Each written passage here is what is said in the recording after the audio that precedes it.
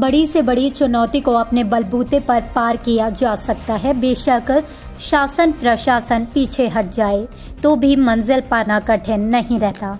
कुछ ऐसी ही सोच के साथ सांबा के जतवाल में स्थित खेल स्टेडियम की दशा सुधारने में लगी हुई है युवाओं की टोली।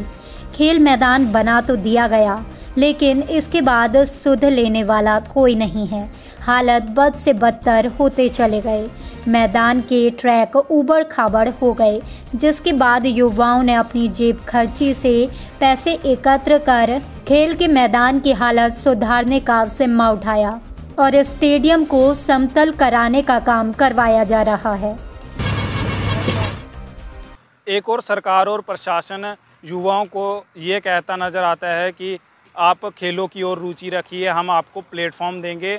मगर ये वादे और दावे ये सरासर खोखले नज़र आ रहे हैं। आप बात करें जतवाल की तो जतवाल इलाके में पिछली बार जब टूर्नामेंट हुई थी तो सरकार के कई नेता जहाँ पर आए और प्रशासन के कई अधिकारी आए, जिन्होंने ये वादे किए और दावे किए कि हम आपको बेहतर एक ग्राउंड उपलब्ध करवाएँगे और इस ग्राउंड की जितनी भी मेंटेनेंस है, वो सही करके आपको ग्राउंड दिया जाएगा। मगर ये वादे और दावे सरासर खोखले नज़र आ रहे हैं और जब हमने ये बात युवाओं से बात की तो उन्होंने क्या कहा? देखिए हमारी ये रिपोर्ट। जैसे कि आप देखोगे कि सांबा से गगवाल में एक जतवाल गाँव है, जो राजनीतिक तौर पे भी काफ़ी बड़ा है, क्योंकि जहाँ पे काफ़ी घर हैं।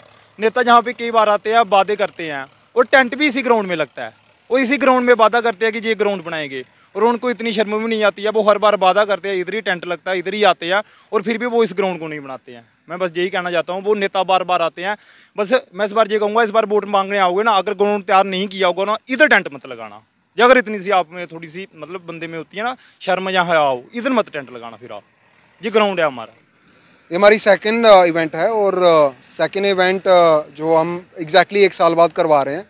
जो पिछला इवेंट था, उसमें हमारा जो हमारे गाँव के लोग थे, हम सभी का योगदान था फाइनेंशियली नॉन फाइनेंशियली और ड्यूरिंग द इवेंट हमारे सरकार की तरफ़ से जो रिप्रेजेंटेटिव यहाँ थे, उनसे काफ़ी प्रोमिस भी किए गए थे। लेकिन आज एक साल होने को आया, ऐसा कुछ प्रॉमिस डिलीवर नहीं हुआ है। तो it's just kind of reminder to them कि अगर आप वादा किया है एक्चुअली वादा करने की ज़रूरत नहीं, आपको इवेंचुअली डिलीवर करना चाहिए, क्योंकि उसी के लिए हम आपको चुनते हैं। तो बस एक उनसे रिक्वेस्ट है कि प्लीज़ थोड़ा देखिए। बाकी रही बात, आपको ये बता दें कि हम रिक्वेस्ट लेके गए थे डीसी मैम के पास। उन्होंने कुछ पैसा जो है, हमें पता चला कि सेंक्शन भी हुआ है। बस कोशिश यही है और रिक्वेस्ट यही है कि जो पैसा है वो अच्छे तरीके से इस्तेमाल हो।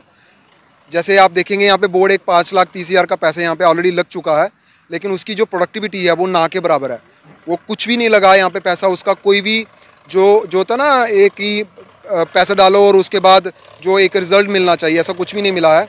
हम इस बार ग्यारह बारह हज़ार की खुद की मिट्टी डाल रहे हैं और लगभग पूरा ग्राउंड डाल रहे हैं जो है तैयार कर रहे हैं, ताकि रात को जब इवेंट होगा तो उसमें किसी को लगे ना, कोई इंजरी ना हो। तो इमेजिन कीजिए अगर दस बारह लाख यहाँ पे पूरे अच्छे तरीके से लग जाए, ये ग्राउंड की जो हालत है वो एकदम से सुधर जाएगी। जो हम बचपन से सुनते आ रहे हैं कि ये ग्राउंड जो है बन रहा, आज बनेगा, कल बनेगा, हम सुनते सुनते बड़े हो गए, लेकिन अभी तक ग्राउंड नहीं बना। तो बस यही है, उनसे रिक्वेस्ट है कि प्लीज़ आप अपने प्रोमिस को डिलीवर कीजिए और एक युवा को आप एक डाइवर्ट करिए। मैं डाइवर्ट वर्ड इस्तेमाल नहीं करूँगा, उनको फोकस रखिए आप कि वो नशों से दूर रहिए और गेम्स की तरफ़ उनका रुझान रहे। बस ये मैसेज है मेरा।